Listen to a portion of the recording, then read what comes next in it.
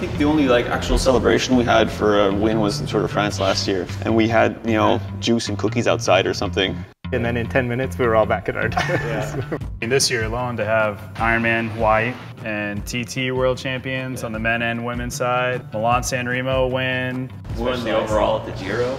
Oh, geez, yeah. yeah. These are successes that entire brands would build four or five years off of.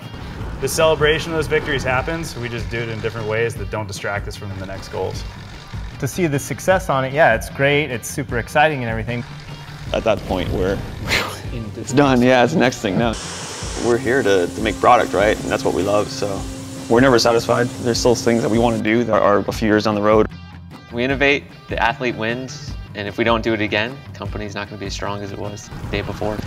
Oh my god, the parallels between cycling and suffering and working hard on products and suffering, there's some hard days for sure. They're worth it in the end.